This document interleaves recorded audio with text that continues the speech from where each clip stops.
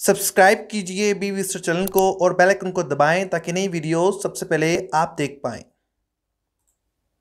Good morning दोस्तों, मैं साहिल, आप देख रहे हैं बीस जानकारी में आपका फ़ायदा, जी हाँ जानकारी में आपका फ़ायदा।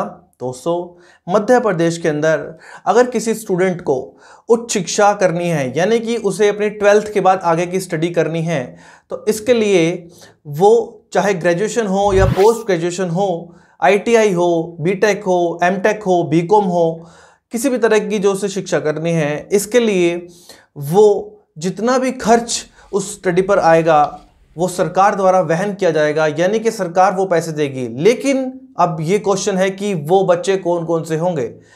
इसमें जो माता पिता मध्य प्रदेश के अंदर, श्रमिक विभाग के अंदर काम करते हैं और साथ में वो असंगठित कामगर हैं, उन्हें इसका फ़ायदा मिलने वाला है। अब कैसे अप्लाई करना है?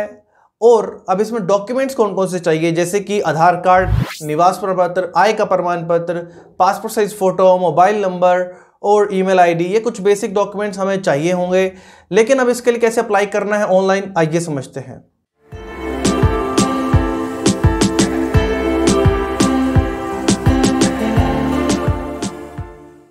दोस्तों, ये है ऑफिशियल वेबसाइट इसका लिंक वीडियो के डिस्क्रिप्शन में आपको मिल जाएगा। तो हम सबसे पहले जाएँगे यहाँ पर।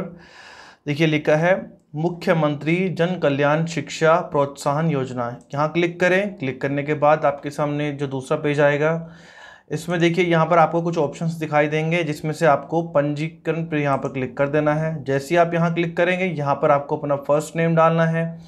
और अपना जो नाम कंफर्म दोबारा अगेन यहाँ पर डाल दीजिए, फिर मिडल नेम लास्ट नेम ये सब करने के बाद यहाँ पर आपको जेंडर सिलेक्ट कर लेना है, फिर यहाँ पर आपको वही जेंडर यहाँ पर डाल देना है लिख कर फिर डेट ऑफ़ बर्थ यहाँ पर आपको सिलेक्ट करनी है, फिर अगेन वही डेट ऑफ़ बर्थ यहाँ पर आपको डालनी है।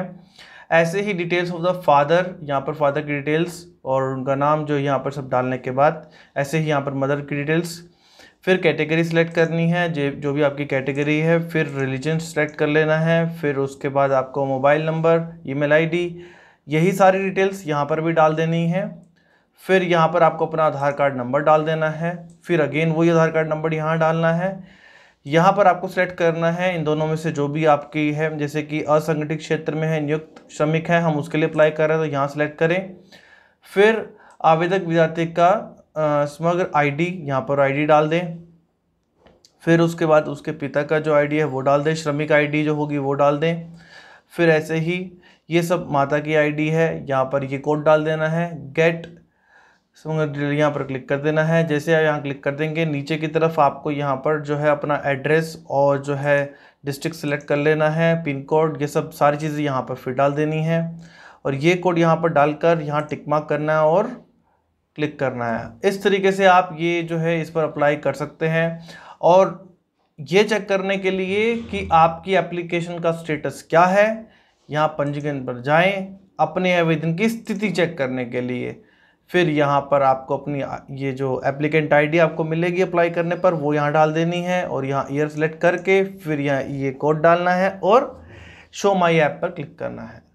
ये बिल्कुल सिंपल सा तरीका है अप्लाई करने का। अगर आपको कुछ फिर भी दिक्कत आ रही है तो ये नंबर दिया गया है ऊपर। यहाँ से आप अप्लाई कर सकते हैं। दोस्तों, इसके अलावा अगर आपको किसी और योजना के बारे में या किसी और विषय पर कोई इन्फॉर्मेशन चाहिए तो प्लीज़ वीडियो के कमेंट सेक्शन में उसका नाम लिखिए और डेली बेसिस पर गवर्नमेंट जॉब्स के अपडेट्स देखने के लिए चैनल के कम्युनिटी सेक्शन में जाइए। वहाँ मैं डेली बेसिस पर गवर्नमेंट जॉब्स के अपडेट्स डाल रहा हूँ।